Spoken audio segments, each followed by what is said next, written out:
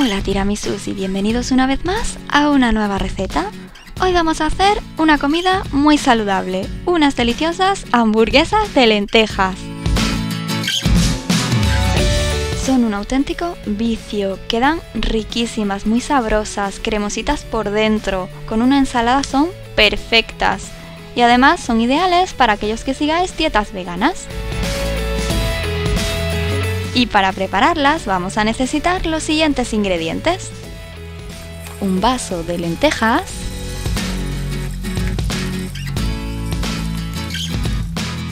seis vasos de agua del tiempo, dos los vamos a utilizar para dejarlas en remojo y cuatro para cocerlas, y una cucharadita de sal fina. En una cazuela mediana echaremos nuestras lentejas, dos vasos de agua, cubriremos con una tapadera y dejaremos en remojo unas 4 horas a temperatura ambiente.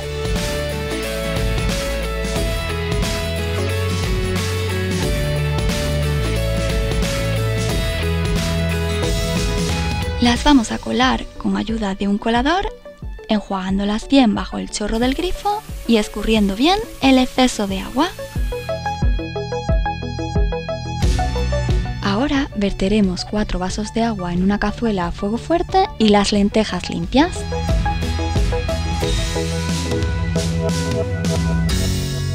Una vez empiece a hervir, bajaremos el fuego a medio bajo, añadiremos una cucharadita de sal, cubriremos con una tapadera y dejaremos cocinar entre 35 y 40 minutos o hasta que estén bien blanditas.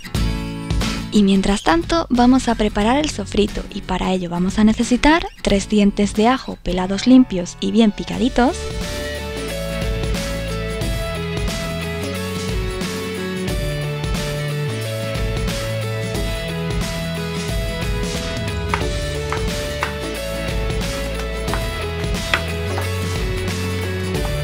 una cebolla pequeña pelada limpia y bien picadita,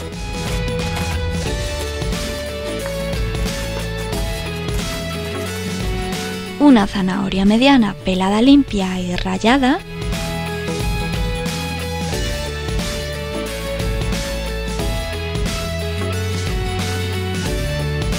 cuatro cucharadas de tomate frito, media cucharadita de pimentón dulce, una cucharadita de ras el hanout, un cuarto de cucharadita de pimienta negra molida, sal al gusto, yo le voy a poner media cucharadita, dos dedos de agua y dos cucharadas de aceite de oliva. En una sartén a fuego fuerte echaremos las dos cucharadas de aceite de oliva. Una vez caliente incorporaremos los ajos, la cebolla, bajaremos el fuego a la mitad y añadiremos la media cucharadita de sal. Mezclaremos y dejaremos cocinar 5 minutos removiendo de vez en cuando. Ahora vamos a agregar la zanahoria rallada. Mezclaremos un poco y dejaremos cocinar 3 minutos más, removiendo de vez en cuando. Pasado el tiempo, añadiremos la pimienta negra molida, el ras el hanout, el pimentón y el tomate frito.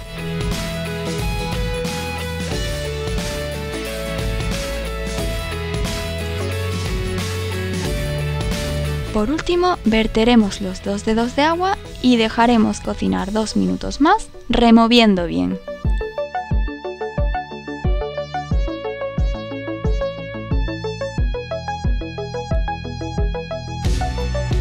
Ya tenemos listas nuestras lentejas, así que las vamos a colar con ayuda de un colador, pasándolas bajo el chorro del grifo para romper la cocción y escurriendo bien para eliminar el excedente de agua.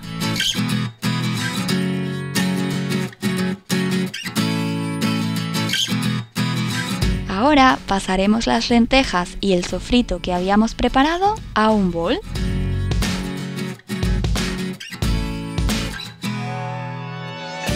Daremos unos 5 o 6 golpes de batidora a nuestra mezcla de tal forma que queden lentejas enteras. La idea es no triturarlo del todo, solamente un poquito.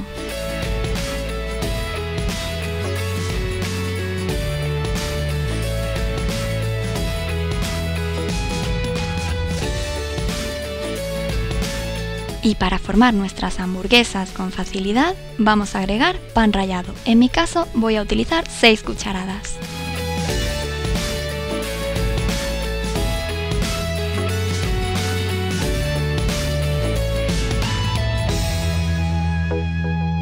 Cubriremos nuestra mezcla con papel film y nos la llevaremos a la nevera 30 minutos para que adquiera mejor consistencia y podamos formar nuestras hamburguesas más fácilmente. Para formar las hamburguesas tomaremos 3 cucharadas de la mezcla que pasaremos a nuestra mano. La pasaremos a la otra mano y daremos unos golpecitos para aplanarla por el otro lado.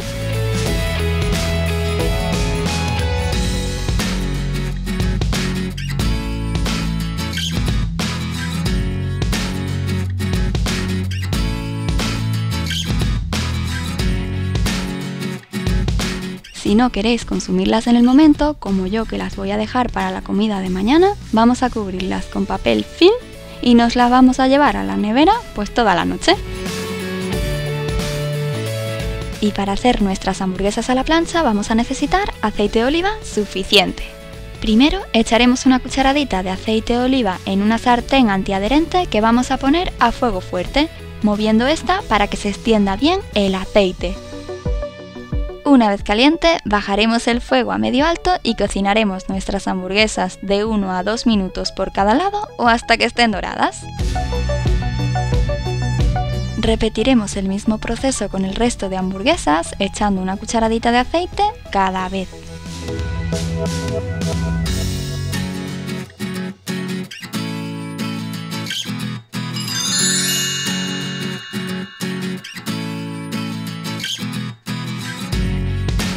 Y aquí tendríais el resultado final.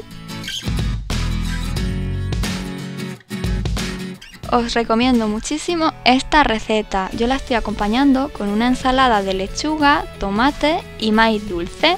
Además, es una idea perfecta para que los niños coman legumbres.